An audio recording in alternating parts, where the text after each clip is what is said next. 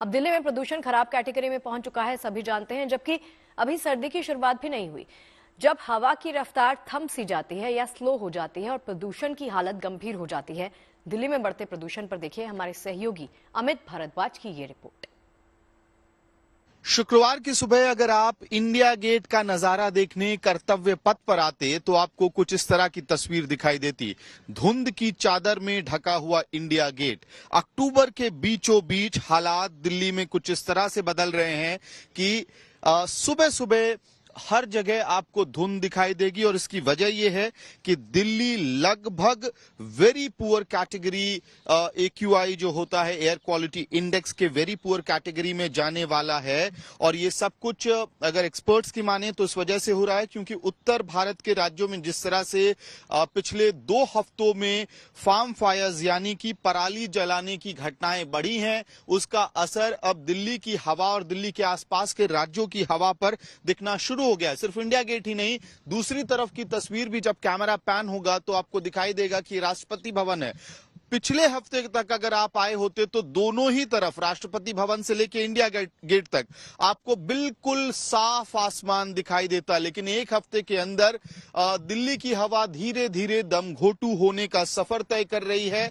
आज शुक्रवार की सुबह जो केंद्र सरकार का समीर ऐप है, उसके हिसाब से दिल्ली का overall A Q I two हो गया है। यानी कि वेरी पुअर कैटेगरी को छूने वाला है। ऐसी स्थिति में जो बुज़ुर्ग लोग होते हैं या बच्चे होते हैं, उनको सांस लेने में दिक्कत होती है।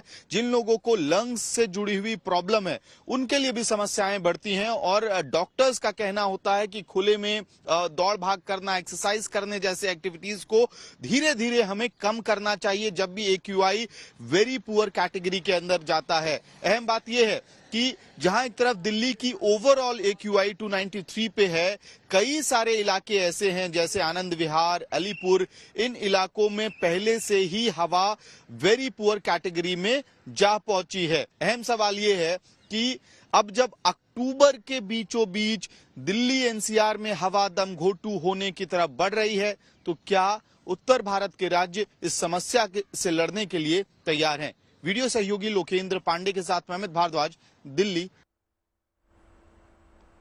बीजेपी सांसद मनोज तिवारी ने दिल्ली में प्रदूषण को लेकर दिल्ली सरकार को आड़े हाथों लिया है। मनोज तिवारी ने कहा है कि दिल्ली सरकार की नीयत पोल्यूशन दूर करने की है ही नहीं। आइए सुनते हैं मनोज तिवारी का और क्या कहना है।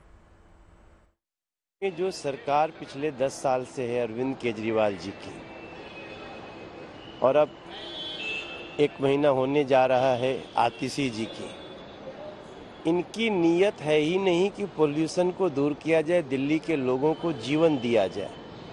आज फिर से पोल्यूशन जानलेवा हो रहा है।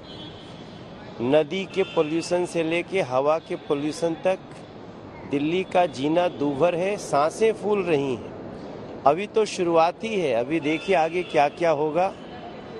हमारा अब अपेक्षा क्या कर सकते हैं?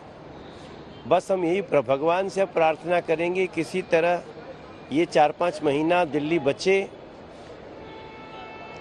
चार महीना बाद चुनाव है।